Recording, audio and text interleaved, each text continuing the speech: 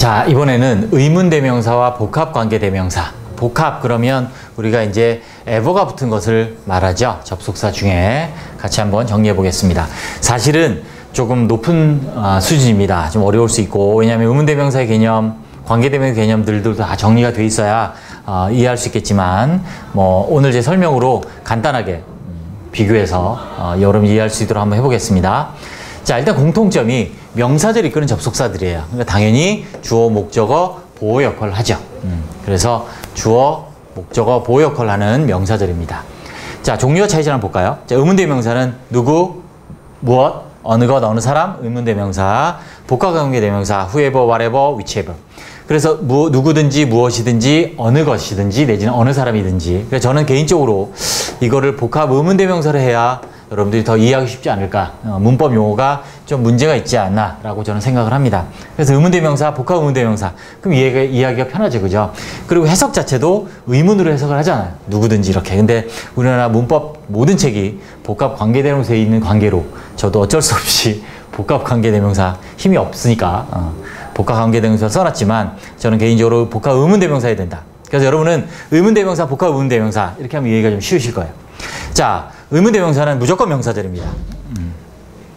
의문대명사 이끄는 절은 무조건 명사절이고 자 복합관계대명사, 복합 의문대명사 이끄는 즉 에버가 붙은 얘들은 자 명사절 되기도 하는데 자 부사절로 됩니다. 자 이거 좀 이따 뒤에 설명을 하고요. 해석 이거죠.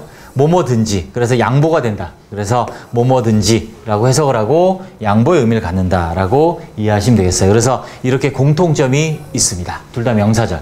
그래서 시험에 조금 어려운 시험에 뭐 탭스 같은 문제도 그렇고 어, 학교 시험에 도 어렵게 나오면 이게 나오죠. 자 어떻게 구분하느냐? 명사들인 경우는 해석해야 됩니다.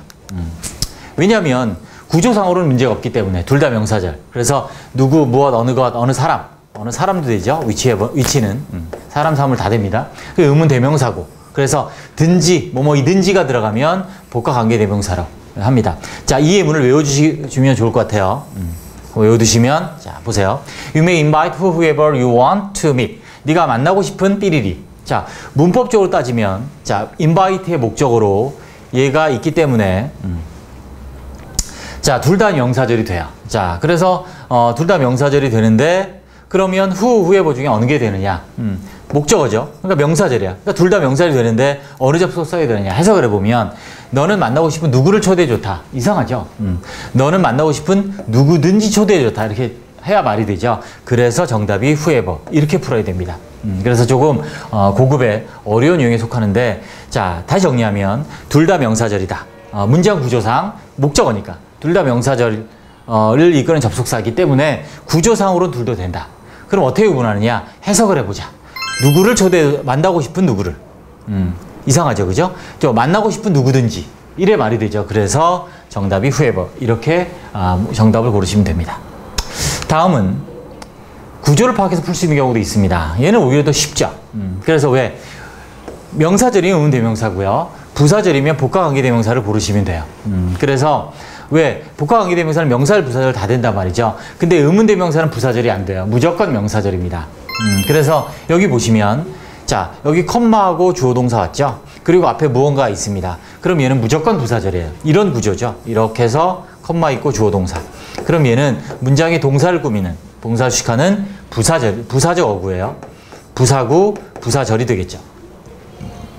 자, 그러니까 근데 후가 왔단 말이죠. 그러니까 틀린 문장이라는 얘기죠. 왜? 후가 있으면 명사절이 되니까. 그래서 만약 후, 후로 시작을 했다.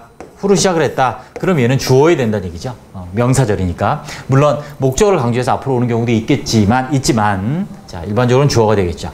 이렇게 돼야 된다는 얘기죠. 자 컴마 있고 주어 동사 있다. 앞에 뭔가 있다. 아 그러면 주어 동사 있으니까 부사절이구나. 음, 부사절이 이끄는 접속사는 후 안 된다. 후에버는 된다. 그래서 다 이거는 맞는 문장이죠. 그래서 해석을 해보면 whoever you may choose. 네가 누구를 선택하든지 누구를 선택하든지 I will support the person. 난 그 사람을 지지할 거야. 음. 그래서 부사절, 동사를식하죠. 누구를 선택하든지 지지할 것이다. 아, 그래서 어, 여기선 정답이 whoever 부사절이기 때문이다. 네, 좀 어려운 건데 수고하셨습니다. 다시 한번 반복해서 꼭 봐주시기 바랍니다.